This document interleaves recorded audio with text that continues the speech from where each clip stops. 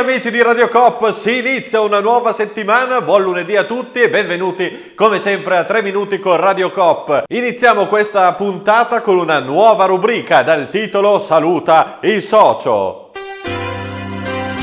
E allora salutiamo il socio Giovanni della Coop di Fusignano in provincia di Ravenna. Ciao Giovanni, se volete eh, mandare dei saluti potete farlo scrivendo a redazione chiocciola radiocop.it. Iniziamo subito però con il nostro Carlo Maffini. Vai Carlo!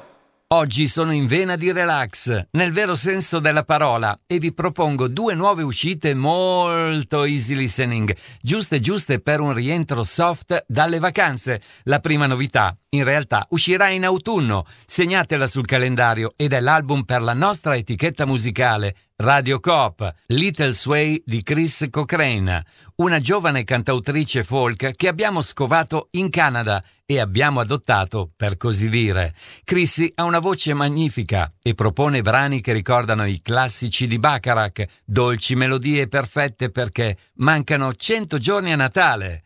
A proposito di voci magnifiche, il secondo disco che vi presento, appena uscito, è il nuovo di Paul Carrack, These Days. L'inglese, già negli Ace, Roxy Music e Mike and the Mechanics, ci offre brani pop, soul e reggae molto piacevoli, con il contributo di eccellenti musicisti come Robbie McIntosh, chitarrista fra gli altri di Paul McCartney, il batterista Steve Gadd e il sassofonista di James Brown, P. Willis. Wonderful.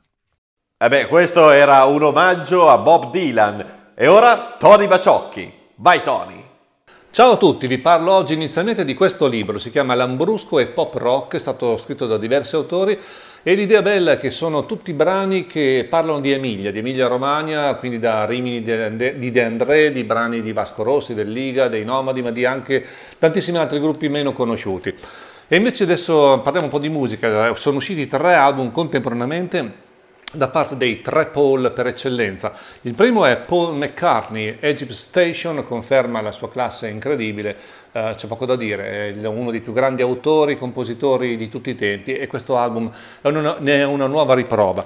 Paul Weller, True Meanings, è un album atipico nella sua produzione perché è quasi, anzi è prevalentemente è quasi esclusivamente acustico con molti arrangiamenti di archi e ancora anche in questo caso ci conferma la sua classe compositiva. E infine Paul Simon che ha abbandonato, sta abbandonando in questi giorni la scena live per dedicarsi esclusivamente ai lavori in studio, riprende alcuni suoi brani meno conosciuti, li rivisita in chiave jazz blues con l'apporto di jazzisti pazzeschi come Bill Frisell o Winton Marsalis.